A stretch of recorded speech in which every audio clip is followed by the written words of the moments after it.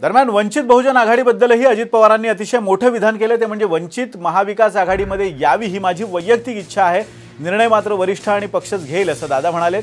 महाविकास आघाडी टिकावी आणि त्यात बेरीज होण्यासाठी जे असतील त्यांनी यावं. अनेक जणांनी प्रयत्न करावे. वंचित बहुजन आघाडीला मानणारा मोठा वर्ग आहे. त्यामुळे एकत्र लढले तर महाराष्ट्रात वेगळं चित्र निर्माण होईल असं अजित पवार यांनी स्पष्टपणे म्हटलंय. एक मोठं विधान अजित पवारांनी वंचित संदर्भात केलेलं आहे. महत्त्वाचं म्हणजे प्रकाश आंबेडकरांनी शरद पवारांवर सातत्यानं सडकून टीका केली तरीही अजित पवार महाविकास आघाडी आणि वंचितच्या बाजूनं आहेत.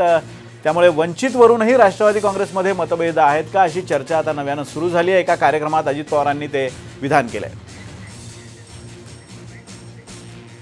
दोन तीन वेळेला कानावर आल्यानंतर त्यांना सांगण्याचं काम केलेलं होतं. त्यांनी पण त्यांना बोलवलेलं होतं. त्यांची त्यांची पण चर्चा झालेली होती. पवारसाहेबांनी पण त्यांना सांगितलेलं होतं. जयंत पाटलांनी पण सांगितलेलं होतं. ते त्यांच्या परीनं काम करत होते. परंतु दुर्दैवानी त्याच्यात यश आलं नाही म्हणा किंवा त्यांना असं कधी वाटलं नाही की इतकी टोकाची भूमिका आपले सवंगडी आपले सहकारी घेतील.